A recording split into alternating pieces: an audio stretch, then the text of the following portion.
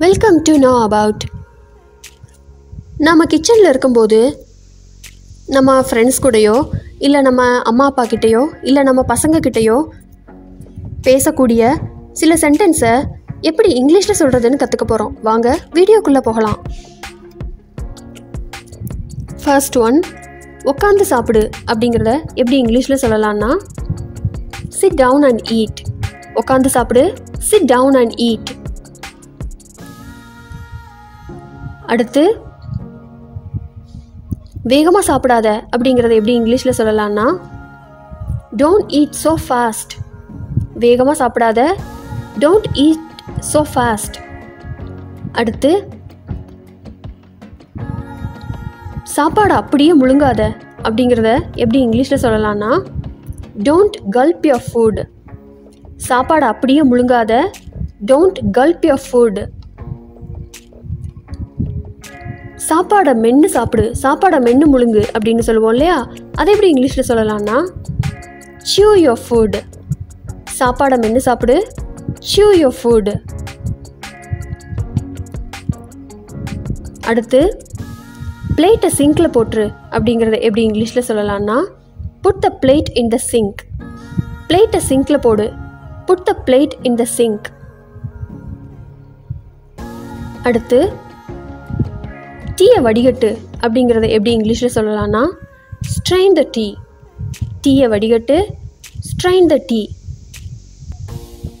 மாவை பெச அப்படிங்கிறத எப்படி இங்கிலீஷில் சொல்லலாம்னா நீட் த ஃப்ளோர் மாவை பெச நீட் த ஃப்ளோர்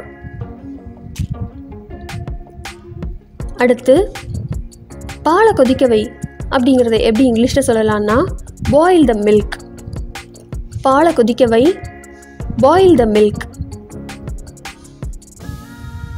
அடுத்து அடுப்பை கூட்டி வை இல்லைன்னா குறைச்சி வை அப்படின்னு சொல்லுவோம். அதை எப்படி இங்கிலீஷில் சொல்கிறதுன்னா டேர்ன் அப் த ஹீட் இது அடுப்பை கூட்டி வையின்னு சொல்கிறதுக்கு டேர்ன் டவுன் த ஹீட் அப்படின்னா அடுப்பை குறைச்சி வையின்னு சொல்லலாம்.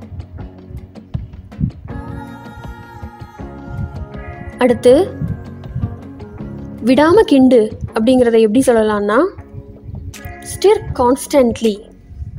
விடாம கிண்டு. Stir constantly. அப்பப்போ கிண்டு அப்படிங்கிறத எப்படி இங்கிலீஷில் சொல்லலான்னா ஸ்டிர் அக்கேஷனலி அப்பப்போ கிண்டு. ஸ்டிர் அக்கேஷனலி அடுத்து ரொம்ப வேக வச்சிடாத அப்படிங்கிறத எப்படி இங்கிலீஷில் சொல்லலான்னா டோன்ட் ஓவர் குக் ரொம்ப வேக வச்சிடாத டோன்ட் ஓவர் குக்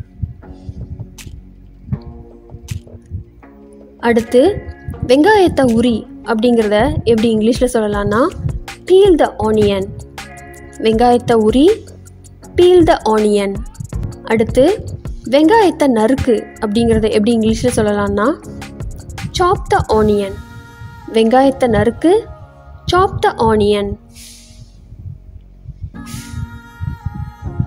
நான் பாத்திரம் கழுவிட்டு இருக்கேன் அப்படிங்கிறத எப்படி இங்கிலீஷில் சொல்லலாம்னா I am cleaning the dishes நான் பாத்திரம் கழுவிட்டுருக்கேன். I am cleaning the dishes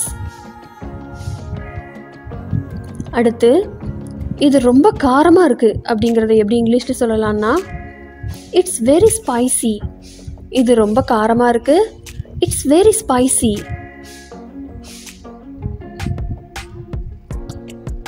சூடாக பரிமாறு அப்படிங்கிறது எப்படி இங்கிலீஷில் சொல்லலான்னா சர்வ் இட் ஹாட் சூடாக பரிமாறு சர்வ் இட் ஹாட்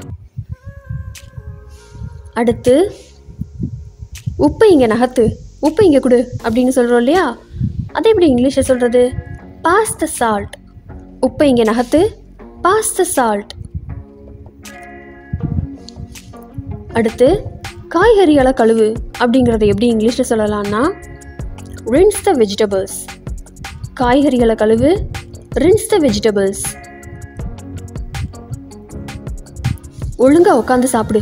அப்படிங்கிறது எப்படி இங்கிலீஷில் சொல்லலான்னா சிட் ப்ராப்பர்லி அண்ட் ஈட் ஒழுங்காக உட்காந்து சாப்பிடு. சிட் ப்ராப்பர்லி அண்ட் ஈட் இந்த வீடியோ உங்களுக்கு பிடிச்சிருந்துச்சுன்னா லைக் பண்ணுங்கள் ஷேர் பண்ணுங்கள் மறக்காமல் சப்ஸ்கிரைப் பண்ணுங்கள் தேங்க்ஸ் ஃபார் வாட்சிங்